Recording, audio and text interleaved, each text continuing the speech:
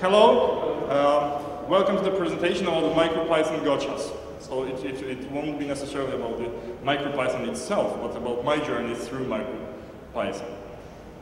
And uh, who am I? Uh, well, I'm a serious software engineer working for a big company, but here I'm privately. So uh, if you have the urge to contact me, you can um, email me, you can try to follow me on Twitter. I do not tweet, tweet too much. You cannot find me on Facebook. Uh, if you don't jot down my email address, I made sure that you will see my email address on each and every slide. So whenever you need, just take a picture, that's it. So yeah, I mentioned that I'm, uh, that I'm working for a big company. Yes, I work as a software engineer for Harman, and usually I'm working on uh, some embedded systems. That's probably why I'm taking making a presentation about MicroPython. Uh, when I'm not working for Harman, I work for a Polish company called Sages, which is the training company, so I deliver training sessions about Python around my country, which is Poland. And, well, my professional life usually evolves or is based around the C, Python, and Linux, and that's it. So let me tell you a story, because this presentation has nothing to do with my professional life. So some time ago, uh, me and a couple of my friends, we took part in the hackathon, which was called HackYeah, which was uh, probably the biggest hackathon in Europe. It was held in Krakow, in Poland. And we had just one purpose. The sole purpose of our taking part in it was, was hacking. So what the hacking is. Well, the Wikipedia says that it is the act of engaging in activities such as programming or other media in a spirit of playfulness and exploration. This is all about this presentation. It will be about the playfulness and exploration. And during this hackathon, there was one idea that was coming all all over and over again to us, and it was that, well, there are so many cases in which you could use a thermal printer there was one guy who created the project who that printed these uh, tweets on the thermal printer, and we had plenty of opportunities of thinking different cases. So after this hackathon, after having a few liquid refreshments, it occurred that actually every project is better when it has a thermal printer. And uh, two of us got this topic a bit further. And we bought the thermal printer. Yeah, this one. And there it came. It was, it was rather small. You could just power it with any regular power supply that you have at your home. It communicates over UART, so each and every typical serial communication should do and there is a Python library for it, so it makes it not only nice, but it also makes it pleasure for programming. So let's Python it. Well, Adafruit created a library that deals pretty well with this printer. So I just downloaded the library. It's almost pure Python. It somehow uh, depends on the, on the PySerial module and the Python imaging library and it works mainly out of the box. So I decided to run it on Raspberry Pi, and it, and it ran. Actually, this is a test page from this very printer. You can see the Raspberry Pi running here, but it wasn't enough. We were thinking about how this could be made. Oh, this is the sound of the printer. Uh, how we can run it on something smaller. Because, you know, Raspberry Pi is, is almost like a C powerful computer. And a friend of mine, the owner of the second thermal printer, he ported this library to MicroPython. And it is also available on GitHub. And uh, he used another word, which is called LoPy. And LoPy is created by Pycom.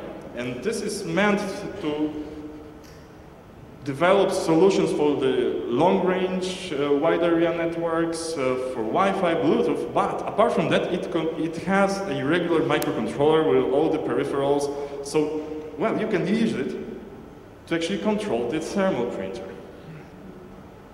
So he, he ported the library, and it worked. He made a few changes. So at first, he removed the Python 2 code, because MicroPython is, is Python 3 compatible language, well, a few others, he replaced the PySerial with the machine UART, because MicroPython has a built-in machine module that has the functions to, to control the hardware, and UART is part of the hardware.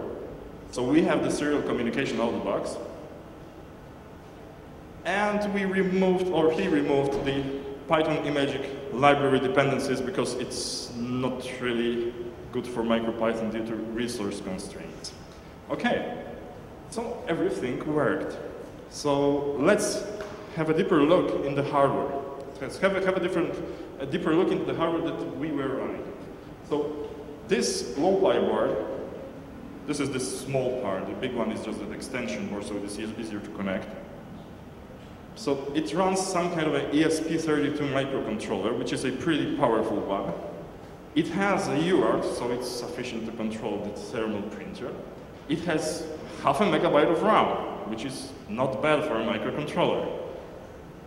It has 4 megabytes of flash for your programs, so you can store your data, your programs, bitmaps you want to, uh, to print.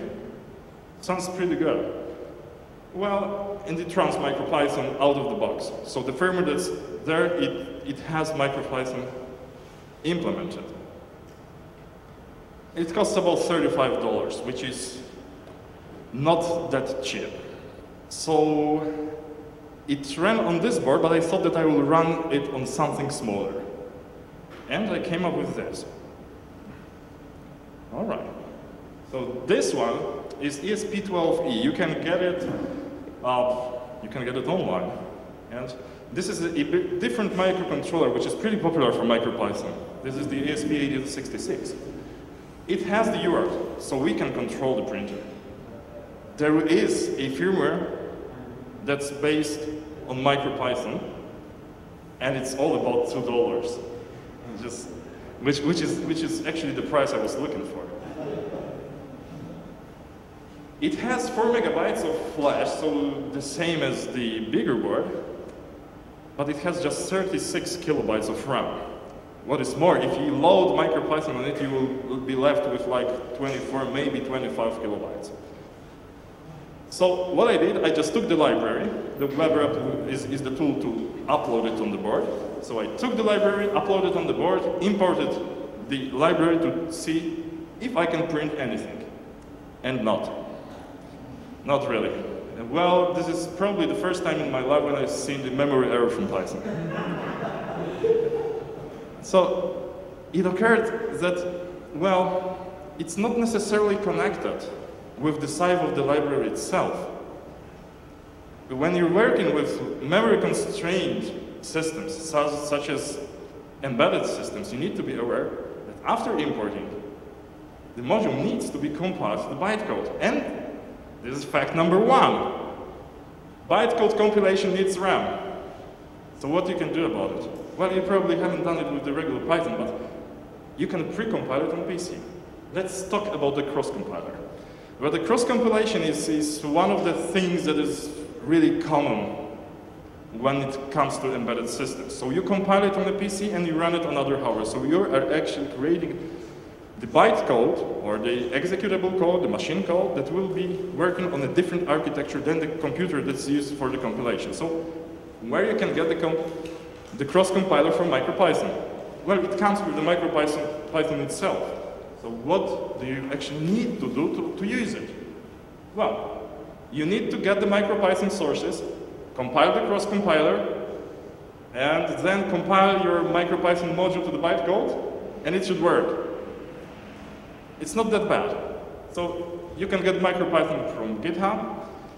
You can uh, go to the mpy-cross, which is the cross-compiler directory, just run make if you have a GNU toolchain or Clang or on your computer, it should work out of the box. And you can try if the mpy-cross actually is running. Well, it is. That's it. It's good. So I cross-compiled the module.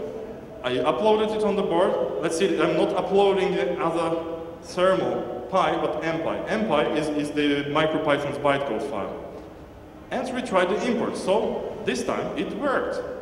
So it was just enough to precompile the sources. So let's print something. So we know that it already worked on LoPy. So what's about what's printing all about? Starting from the very bottom. So you need to configure your, then you need to send the data over here so you can actually print something. The machine module that contains the hardware-related functions is already in MicroPython. It has the UART class, and the UART class has all the, all the tools for using the serial communication. And the thermal printer library is already using this UART class. And it looks like that. So it tries to construct the UART object, while you need to pass the baud rate, the pins that you're going to use for UART, how many stop bits, all the regular UART configuration. And it didn't work. It worked perfectly on LoPy. It didn't work at all on the ESP. Why? Because it occurs that there are too many extra keyword arguments given to the, to the class constructor. What has happened? Well,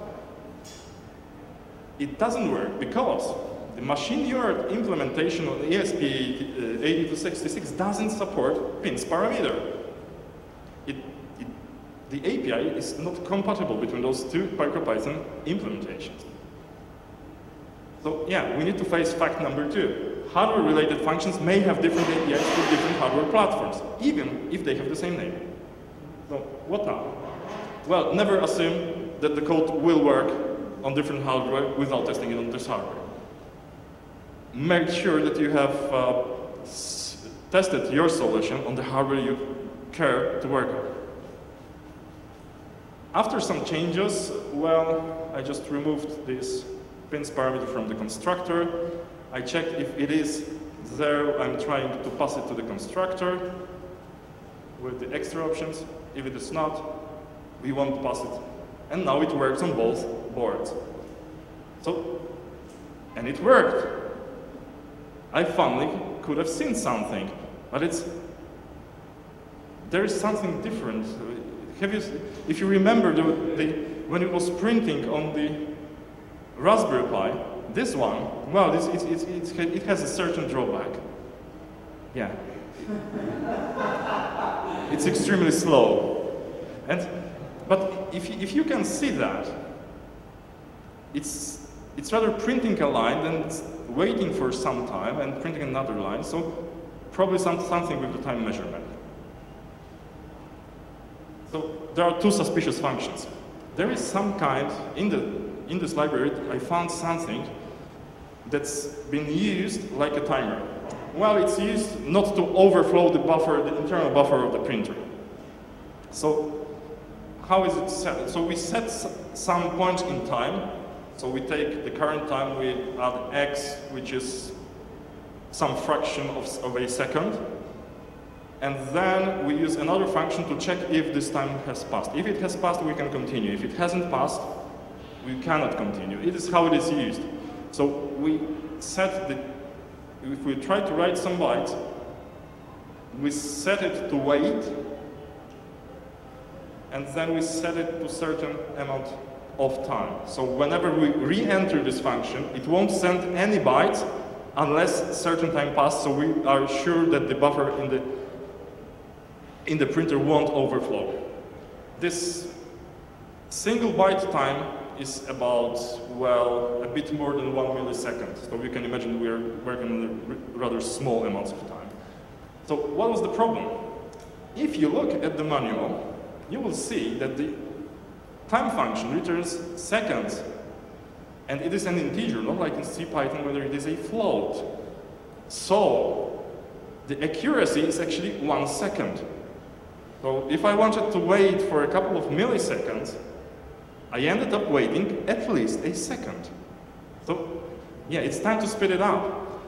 But the manual says that there are different functions that gives you the millisecond and microsecond precision. So we should probably not use the time function, use the micro or millisecond resolution. It operates on integer, but these integers have different meaning. So, yeah, it's time to face the fact three. functions that look familiar to C Python equivalents may behave differently. Read the manual. Make sure you use the appropriate APIs for your needs. So we may use the ticks millisecond. So with an arbitrary reference point that drops around at some value. So we cannot, it's not, it's not continuous. The values may wrap around from time to time. So we need to use the special methods, which is ticks_diff and ticks_add, instead of a regular operators, which were plus, minus, and all the others, just to make sure that we won't hurt ourselves. So it sounds easy. We should change our functions and use the micros, uh, the microtime ticks_add to add the specific period of time in milliseconds. Then you can use the ticks_diff to check if we actually passed the border of, of or if, if we if the time has passed. So should we wait or not? So this is this sounds okay. So I ran it and it worked perfectly on ESP. It doesn't run on LoPy. It occurs that there is no ticks_add in LoPy's MicroPython we need to face fact number four. Even standard MicroPython modules, such as MicroTime, may not implement all the functions. Read the manual. and test it on the target hardware. Write a wrapper. It might be a solution. So I came up with a Pullman's solution for that. So if we have the ticks_diff method, we use it. If not, we will just use the regular minus or plus operators. There's, this is far from being perfect, but it will work in most of the cases. So, after these changes, it worked. And now it works with, with, a better speed. So, we're done. After all these changes, I could have wrapped them in nice pull request, sent it to the library author, it got integrated, it is on GitHub, and that would have been an end of my presentation, but there is a bonus. Just a couple days ago, I figured out that there is not, every, that not everything is okay with the ticks diff function. And this is how it works. Well, this is, this is some period, moment in time, in, in, milliseconds. And this is a bit later, like two milliseconds later. And ticks_diff on LoPy, if you put it in this order, will give you 2 milliseconds in this, minus 2 milliseconds, which is pretty obvious, it just subtracts one from another. But if you run it on ESP, that, yeah, that's it. It takes the same arguments, but the order is different. So, uh, I do not have the solution yet for that. But if you see, the LoPy documentation clearly says the old value should actually precede new value in time, or result is undefined. But the ESP's documentation for MicroPython, the argument order is the same as for subtraction. So the bigger one should be first. And this is how it is implemented. So we need to face fact number five. Even if the API is the same, functions may behave differently. Well, we can write a wrapper that will detect the unusual behavior and try to react to it. I'm working on a solution. It might be ready in a couple of days. And we need to test it on as many boards as possible. So this is time for summing up. So, I show you a few cases where the MicroPython worked a bit differently, differently than I supposed it to. So, you need to, when you're starting with MicroPython, you need to remember the first thing. MicroPython is not the Python you're accustomed to. It's not like CPython, it's, it's more of a language that has a Python syntax. It doesn't include all the nice libraries that you have in a CPython standard library. And you need to be, to be aware that it is still kind of a work in progress. And what you have seen, the implementations for different hardware are different. And it's not only about the hardware features provided by different boards. It's always, it's also about the modules that we think that are part of the standard library. They may not be complete, or the functions, although they look the same, they may behave differently. And uh, coming back to, to the first slides, you need to be aware that embedded devices resources are rather constrained. So it's in terms of the processing power of the CPU, it's about the memory. So you can use the strategies like the one I, I, uh, I demonstrated you to pre-compile the modules and then load them on the boards, or if it doesn't help, it's still possible to compile and freeze your module into the firmware and flash it together with the firmware just to avoid gaps in RAM. This one was not shown there, but it is also a possibility. Well, you should never trust your gut feeling and read the documentation instead. If I have read the documentation before applying the changes, I could have probably avoid some of them. Or maybe it was quicker to just implement it and later fix the, the issues. At least it ended up in the presentation.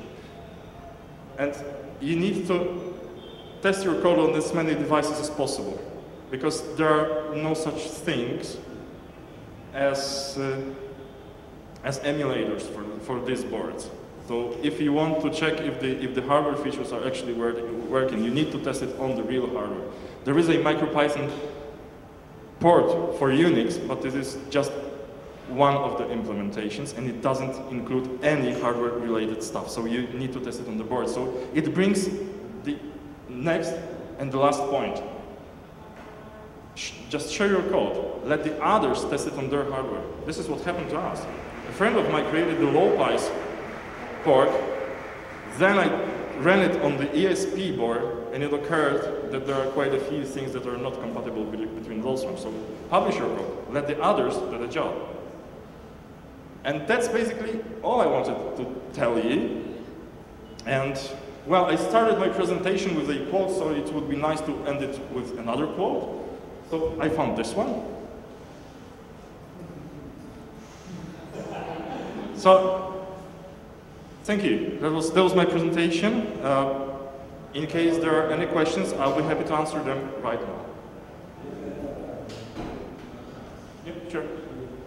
So, uh, about testing on different boards, uh, have you ever tried to do testing with hardware, meaning you have a harness to actually see whether, for instance, pins are depending on Not yet, but I'm planning, after these experiences, I'm planning to create some kind of a test harness for the, for the hardware or the MicroPython-based hardware, yes. Yeah, it, it, it seems like an obvious solution.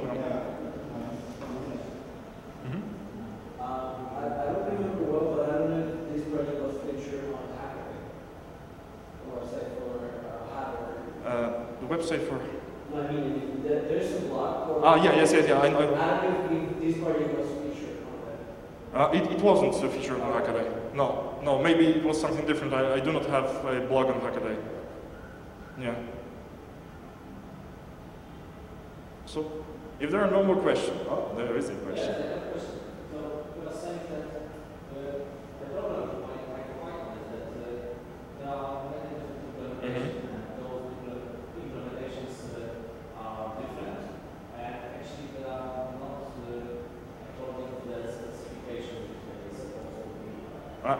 I have no idea if the specification actually actually exists.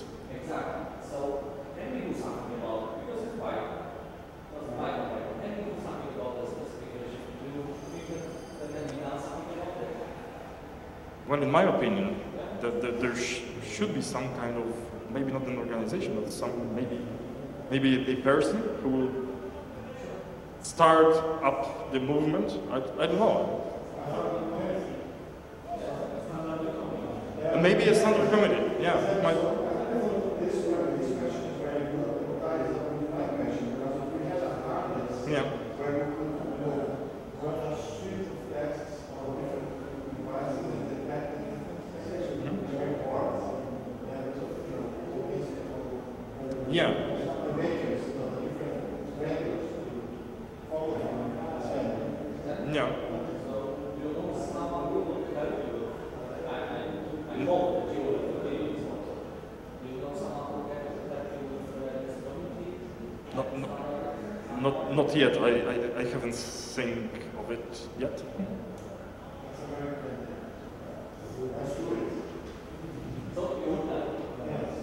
Good. So we have deal. yeah. All right. So yeah, we have the recorded proof. So just in case, if you if you need me for anything, these are the places you can reach me. That's all. My name is Michal Gałka. Thank you.